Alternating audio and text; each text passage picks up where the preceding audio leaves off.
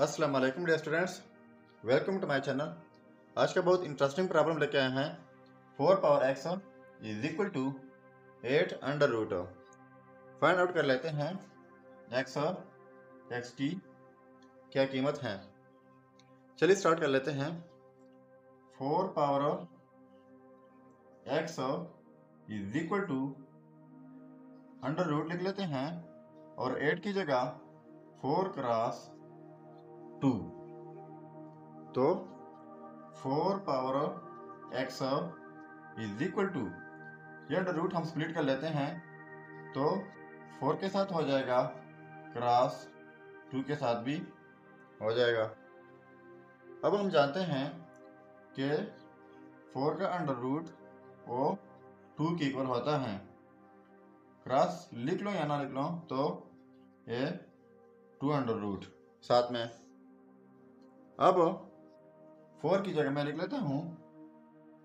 Two power two whole power x is equal to. यहाँ पर power one है तो टू पावर वन लिख लेते हैं। Dot two power under root की जगह वन बाई टू। अब यहाँ पर हमारे पास दो लॉस अप्लाई हो रहा है। फ़र्स्ट ये है, क्या अगर एक बेस के ऊपर दो पावर्स हों तो दोनों पावर्स प्रोडक्ट होते हैं। दूसरी रूल यह है कि जब सेम बेसिस हों, यानी x power a dot x power b same basis हों, बीच में प्रोडक्ट हों, यहाँ पर प्रोडक्ट हैं तो पावर जो हैं, वो एड होते हैं। अब देखो टू पावर इस रूल के तहत दो पावर्स प्रोडक्ट होते हैं एक पावर ये है, एक पावर ये है। तो two power of two x हो जाएगा। इज़ इक्वल टू अब यहाँ पर इस रूल के तहत सेम बेसिस हैं तो एक ही बेस लिख लेंगे टू और पावर जो हैं, ये ऐड हो जाएँगे।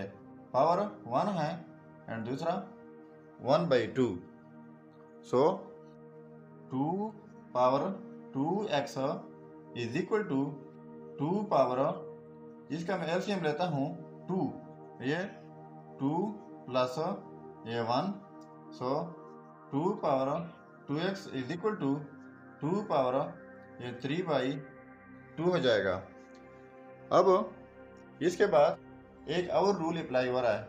वो ये है x power a is equal to x power b यानी अगर सेम बेसिस हों, बीच में इक्वलिटी हो तो पावर्स आपस में इक्वल होते हैं। अब यहाँ पर टू है। यहाँ पर टू है सेम बेसिस हैं। तो पावर इक्वल हो जाएँगे two x is equal to three by two तो बोथ साइड डिवाइड कर लेते हैं टू से। तो इस साइड से वन बाई टू तो ये कैंसिल आउट हो जाएँगे।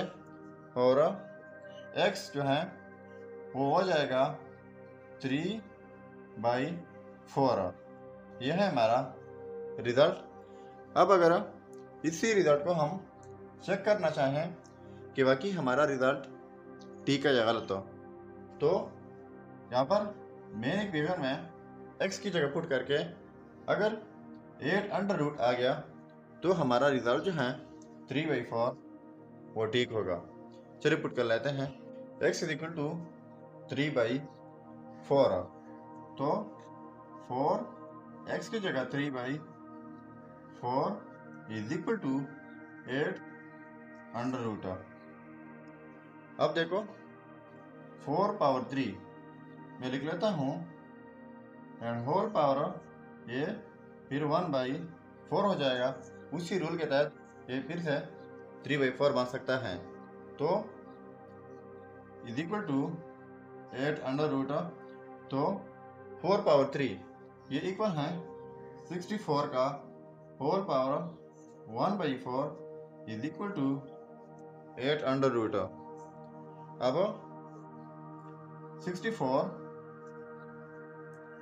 whole power one by two और इसके बाद एक और whole power one by two is equal to eight under root अब ये sixty four one by two हम अंडर रूट लिख सकते हैं and whole power one by two is equal to eight under root of तो ये eight equal हो जाएगा and one by two is equal to eight under root तो इसको भी हम एट अंडर रूट लिख सकते हैं, और ये भी eight under root of so ये रिज़ल्ट जो हैं थ्री बाई फोर ये हंड्रेड परसेंट ठीक है.